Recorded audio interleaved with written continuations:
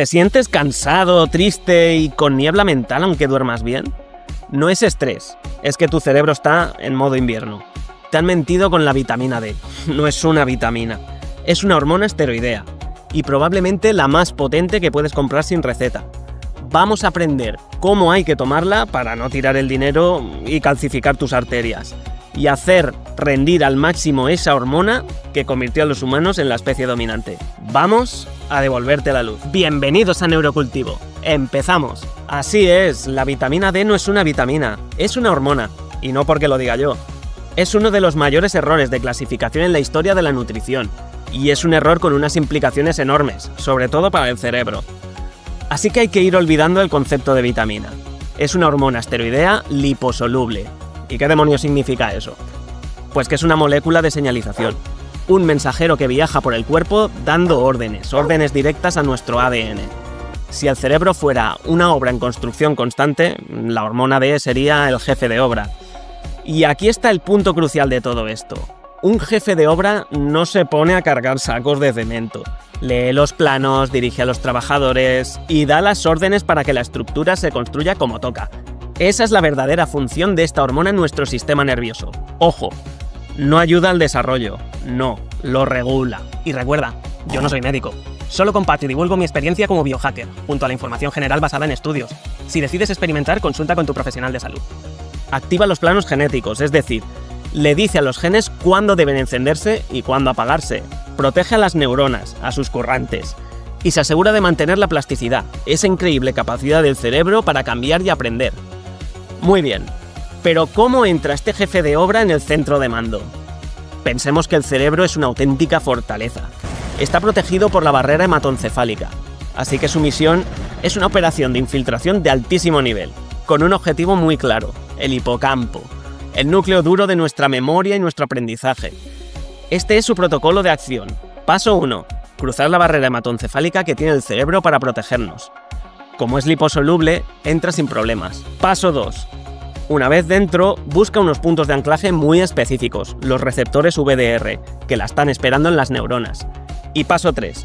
Una vez que se une, el complejo se va directo al núcleo de la célula, y a dar órdenes como un tirano. Empieza a activar y a desactivar genes como si no hubiera un mañana. ¿Y qué pasa si el jefe de obra no se presenta a trabajar? El resultado es simple pero devastador. La obra se detiene, en seco, y con ella la neurogénesis. La neurogénesis define la salud y la capacidad de nuestro cerebro para adaptarse a lo largo de toda nuestra vida. La neurogénesis es literalmente el nacimiento de nuevas neuronas, el pilar de la memoria, el aprendizaje y de la capacidad del cerebro para repararse a sí mismo. Sin neurogénesis, el cerebro se vuelve estático, rígido, incapaz de adaptarse. Y esta tabla lo clava. Las neuronas crecen, y los obreros, los neurotransmisores, trabajan a pleno rendimiento. Pero a la derecha, sin el faraón, la obra está paralizada, los currantes parece que se escaquean, el cerebro se atrofia y los obreros pues se quedan parados mirando el móvil. Una deficiencia de hormona D es un cese de actividad para la fábrica de neuronas del cerebro. Después de conocer todo esto, la pregunta llega sola.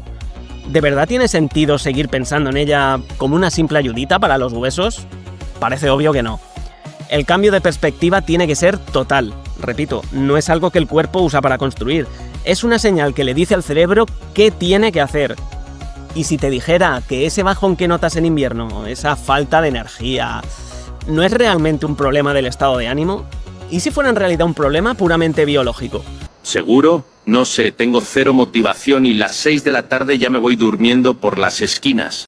Pues ahora vamos a ver precisamente eso, la conexión química entre el sol, la serotonina y cómo nuestro cerebro reacciona cuando le falta luz.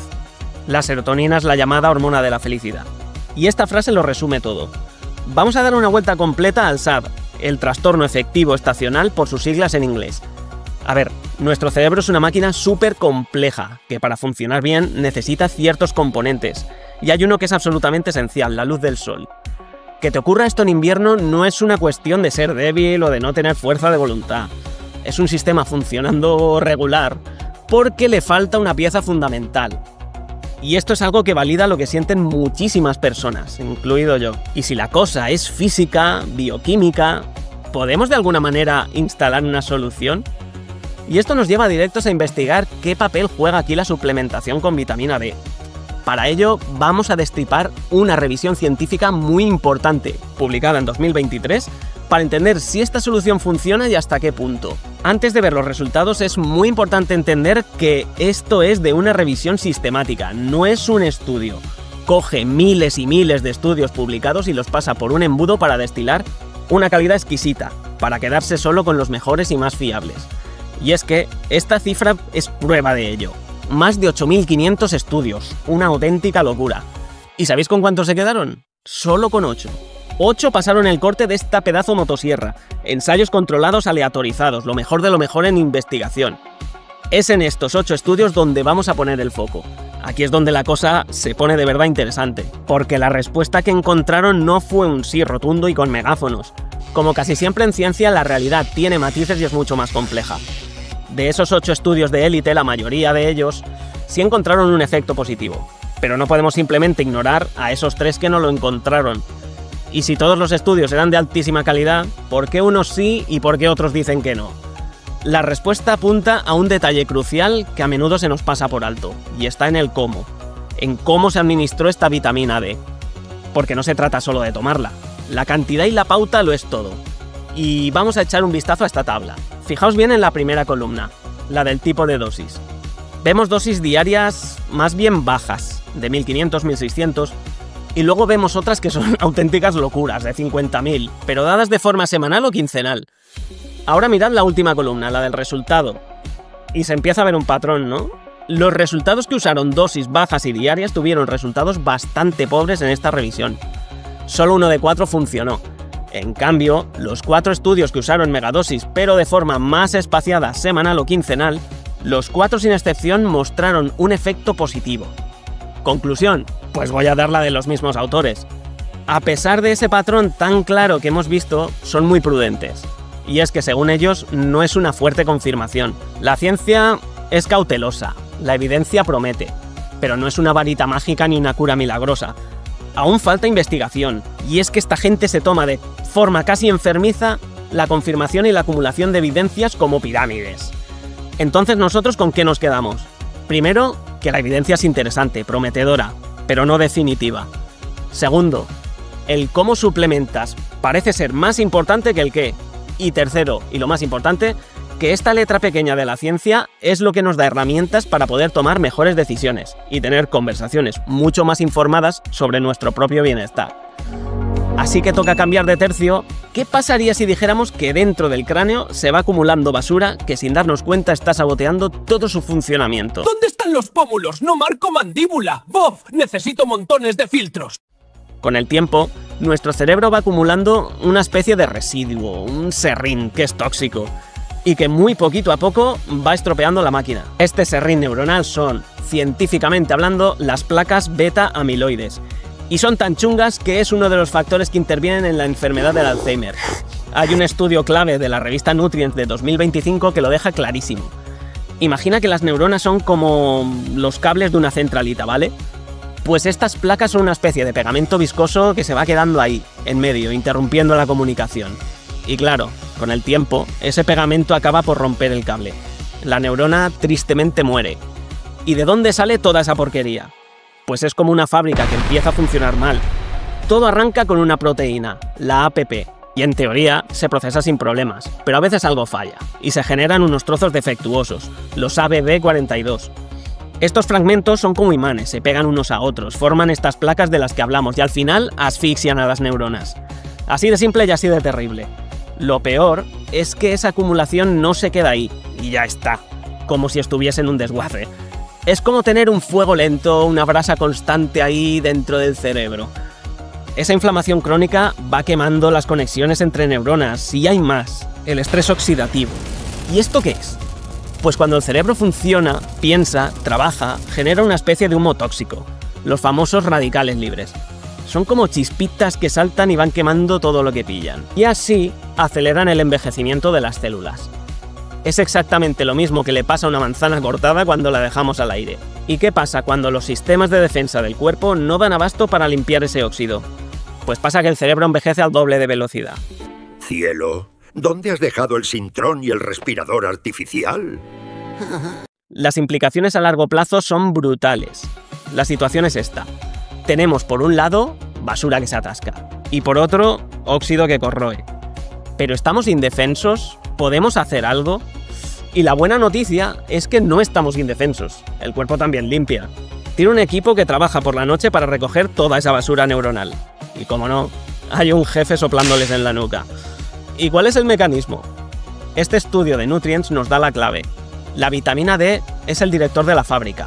Va a la raíz del problema y le dice a los genes que dejen de producir la materia prima para las placas. Y no solo eso.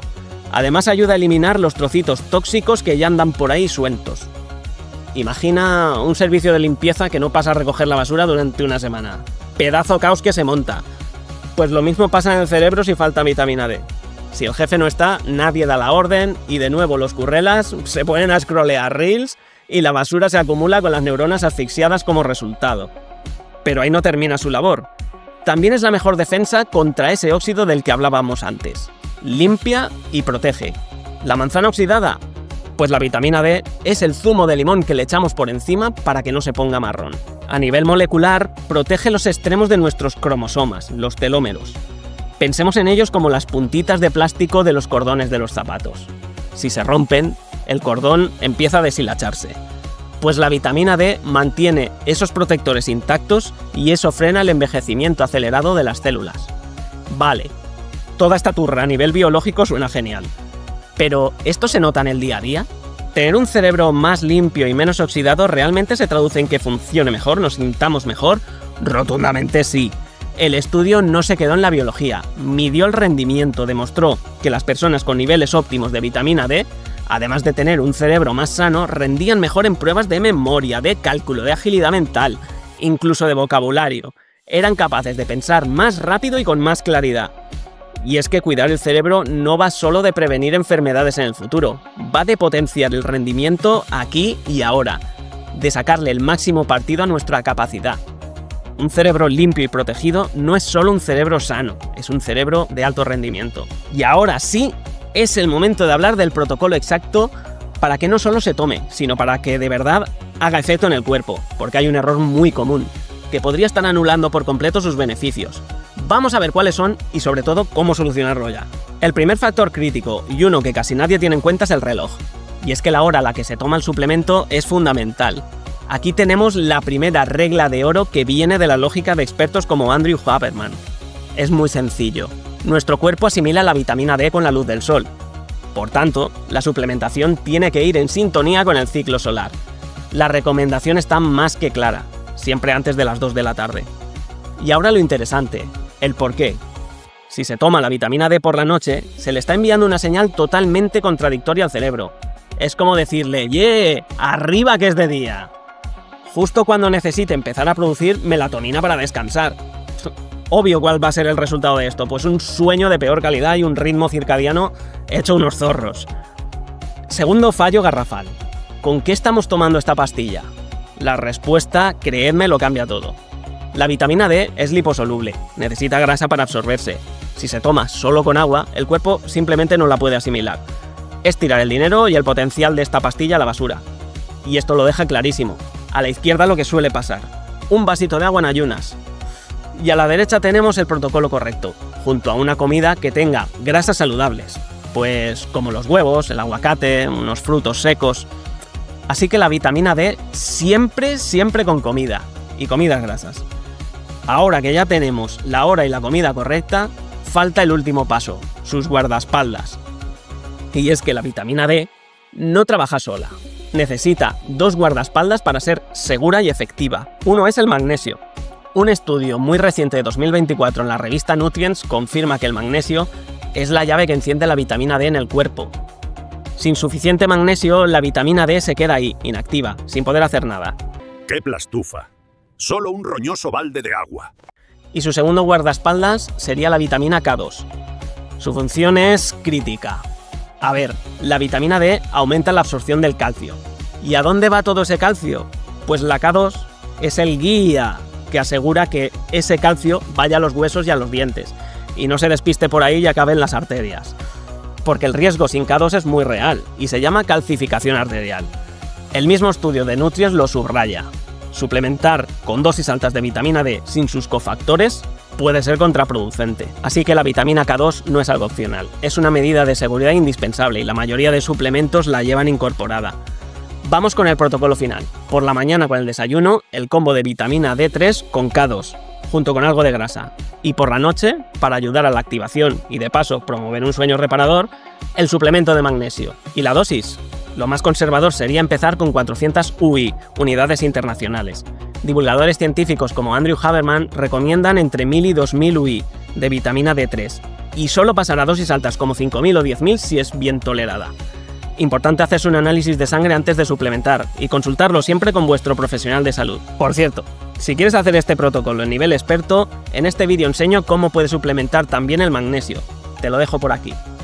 Ahora ya tienes el manual de instrucciones del sol. No te la juegues. Hazte una analítica. Pilla D3 con K2, compra magnesio y pone ese cerebro a funcionar como un reactor nuclear, en vez de una bombilla fundida. Por cierto, desgraciadamente me ha tocado ser de los que el invierno les sienta como una patada en el culo. Me gustaría saber cómo lo lleváis vosotros. ¿Tu cerebro funciona igual en agosto que en enero? Si eres de los que pasan a modo seta en invierno cuando cambia la hora, ponme un emoji de un zombie o de un hongo. Si te ha gustado mi contenido, lo que sí que te pido es que me des un fuerte like, te suscribas y lo compartas. Suscríbete, a ver si deja de decirlo el pesado.